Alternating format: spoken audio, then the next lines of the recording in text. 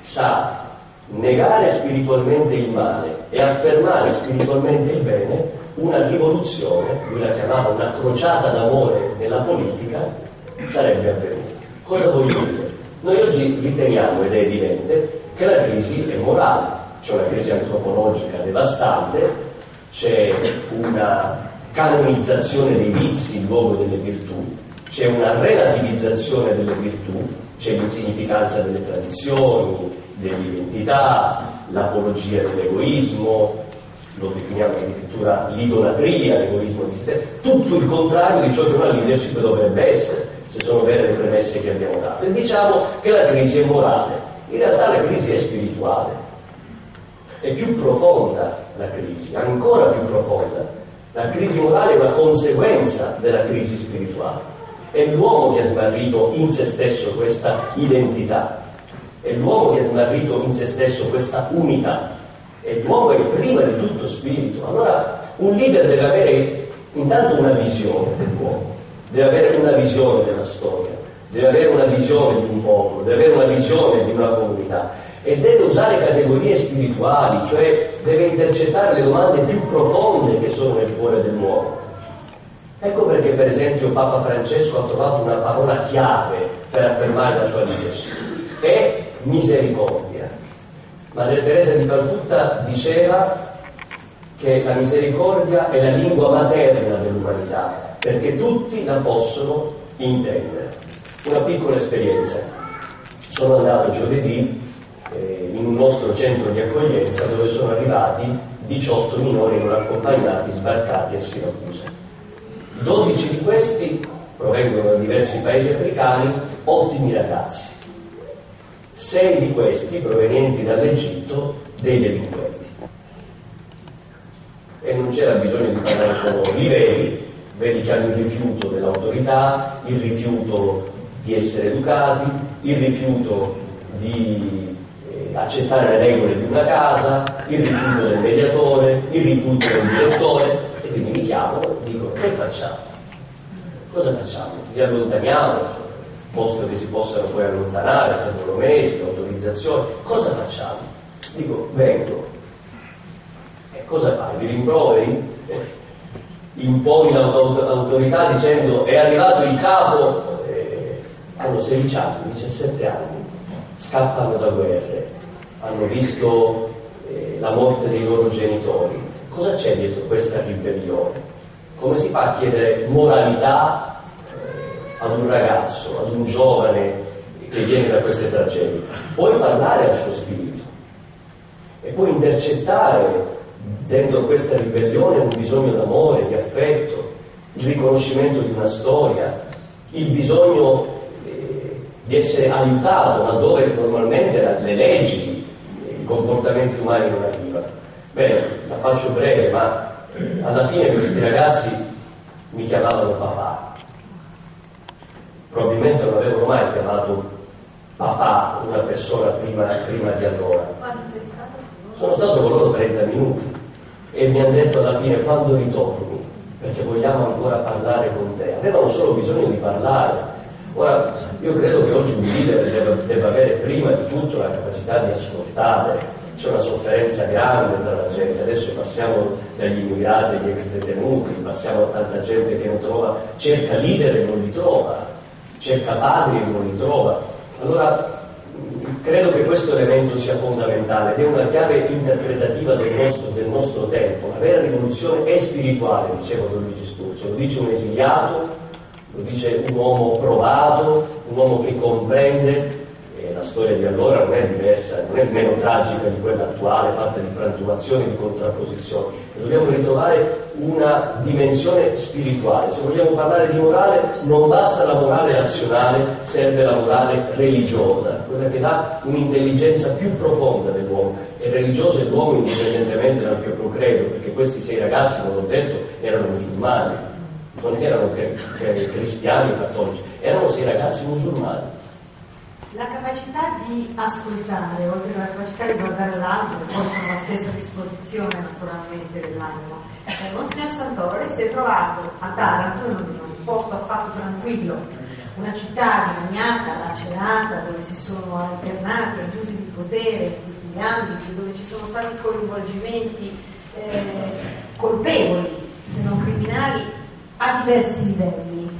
Eh, come si fa ad ascoltare e come si fa ad esercitare un ruolo civile? Perché questo, questo lei ha, tant'è che è riuscito pochi giorni fa a mettere insieme autorità che non si erano mai parlate eh, proprio su, su, uno dei temi più scottanti della nostra cronaca eh, attuale. Sì, eh, prima di, di, di, parlare di tanto volevo dire che quello che Salvatore diceva,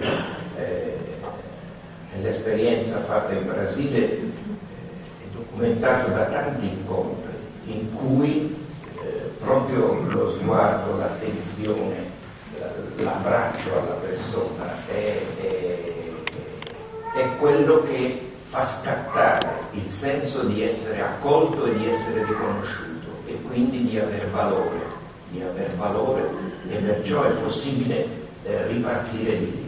Faccio un esempio, eh, dove ero vescovo a Petropolis, eh, c'era un bellissimo asilo mantenuto dalla, dalla, dalla, dalla, diocesi e la direttrice è venuta a trovarmi e ha detto eccellenza io non ho bisogno di, dell'aiuto economico, voglio che lei si faccia carico di questa, di questa esperienza, che mi stia vicino, perché ho bisogno. Allora posso venire a vedere, sto con loro, sono stato lì a vedere i bambini. Però ho visto una zona poverissima di Petropolis, in una favela terribile. E, i bambini hanno fatto una festa straordinaria, però ho visto che il problema era delle mamme dei genitori dopo. Ho detto ma fa, fate venire la settimana prossima le vostre mamme. E allora eh, la settimana prossima, del seguente, sono venute le mamme, queste signore. Queste signore, ho detto ma poverissime, una povertà terribile, proprio, la, proprio cose. E, e, e ho detto ma perché non preparate non preparate delle magliette, delle camicette, delle borsette, qualche... ho dato alla direttrice degli strumenti per fare questi piccoli lavori che poi li vendiamo giù nel centro della città. Per essere rapido, eh, hanno cominciato, hanno messo su una piccola, si chiama il club, il club delle mamme, Club das Manes. Allora hanno messo questo qui, dopo sei mesi sono andato a trovarli e, e, e, e loro, come va, signore?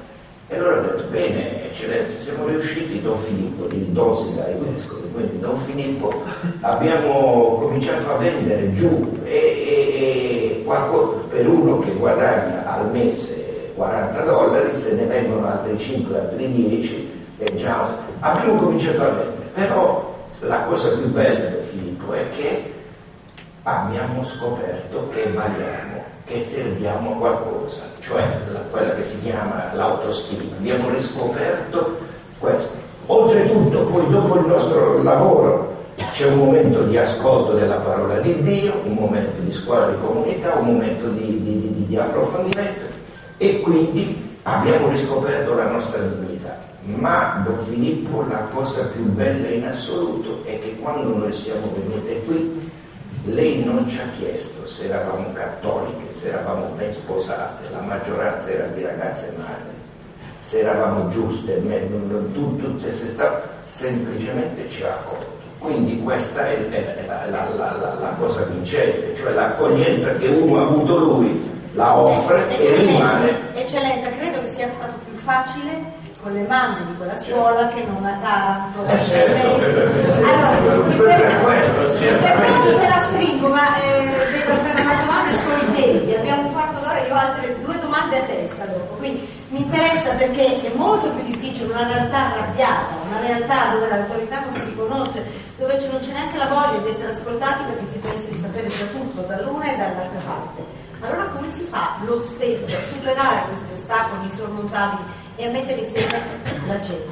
Benissimo, è verissimo, molto più difficile a Taranto, molto più difficile, nel senso che a Taranto una bellissima accoglienza e quando sono arrivato era di Puglia, però lì eh, con, le, con, con, le mamme e anche con le autorità era più semplice il rapporto a Petropolis.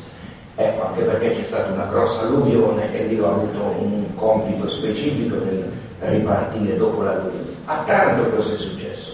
E prima di tutto sono stato a visitare le persone, in primo luogo all'ospedale Nordi ammalati di cancro per causa della, della, dell'inquinamento, quindi un, un, contatto diretto con le persone eh, ferite. Tutti, tutti, i gruppi dei medici, degli ambientalisti che eh, o li andavo a trovare io o mi invitavano, una vicinanza al problema del dolore, della salute minacciata, ferita, violentata durante anni di, di giusta eh, disattenzione. Dall'altro lato tutti gli operai che sono stato a celebrare in fabbrica, l'Ilva, all'Enca, alla Cenit e altre fabbriche, e poi che venivano a trovarmi. Allora, con, con, con, cosa c'è stato? C'è stato prima di tutto il contatto.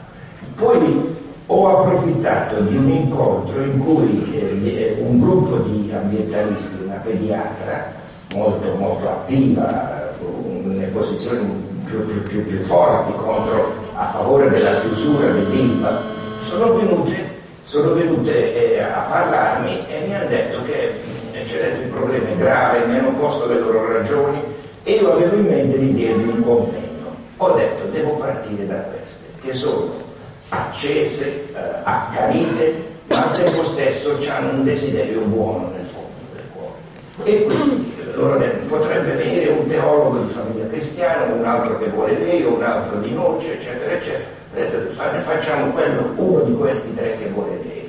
E poi dopo io mi do da fare per chiamare i ministri, il ministro dell'ambiente e il ministro della salute. Però voglio fare un convegno scientifico, mettendoci su delle persone di scienza che mi dicano che è possibile produrre senza inquinare l'ambiente. E questo c'è stato il quindi molto più complesso, molto più difficile, c'era di mezzo il blocco della magistratura che eh, signor giudice non lo tocchi, insomma, non è, non, non, non è facile, e, senso, e, poi giustamente eh, il giudice ha il suo percorso, quindi tutto il rispetto per, in una situazione come quella, è quello che ha fatto saltare e mettere in moto la, la situazione. Quindi la, eh, il metodo più difficile, ma l'approccio, il cuore uguale. Ma perché sono venute da lei queste arrabbiatissime ambientaliste? Perché, perché dal vescovo e non dal sindaco, dal, dal presidente della regione? Eh, vabbè, non mettetevi a ridere. Cioè. Senza parlare degli assenti, allora, eh, perché? Perché evidentemente mi hanno visto quando sono andato all'ospedale Nord, mi hanno visto quando sono andato alle carceri, hanno sentito la mia predica alla festa di San Cataldo, a, a, tutti quanti, mi è venuta una di loro a dirmi, io stavo camminando per strada, che tra l'altro nemmeno era praticante questo, ho sentito uno che parlava e ho detto ma chi è? Ma chi è? E questo è il bello. Quindi c'è stato un, un, si sono sentite interpellate da qualcuno che prendeva sul serio la domanda e il problema che loro avevano. Io diciamo non mettete a ridere, quando si fa riferimento in genere alle autorità civili abbiamo sempre un sorriso molto scettico perché non ci sentiamo ascoltati e rappresentati. Eh, però il problema c'è, Salvatore Martinez, perché voi siete diventati dei capi, eh, perché siete dei testimoni, perché qualcuno ha scommesso su di voi, perché siete stati amati, perché siete stati seguiti. Questo è possibile anche nella vita politica, nella vita civile, perché, perché noi siamo eh, davvero ehm, eh, de- defraudati di, autor- di personalità autorevoli di cui poterci fidare è un problema di cui si è fatto carico Benedetto XVI, anche Papa Francesco, chiedendo che i cattolici si impegnino in politica, che non significa evidentemente acquisire posti di potere, cioè, ehm, e ci preme la formazione politica dei cattolici, a te come responsabile di un movimento ecclesiale così grande, preme perché si può distinguere la vita religiosa da quella politica. Eh, io riparto dal, insieme, sì, eh? sì, dalla modestia con la quale si è posta Don Filippo e diceva eh, esclusi gli assenti, lasciatemi essere più esplicito, si può essere presenti eppure assenti.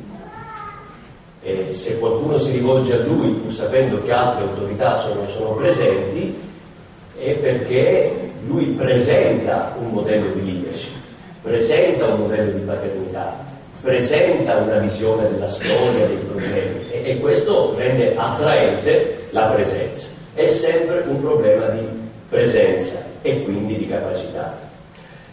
Formazione politica. Il 7 settembre del 2008 per la prima volta Benedetto XVI fa risuonare un'evidenza. abbiamo necessità, anzi dice, l'urgenza di una nuova generazione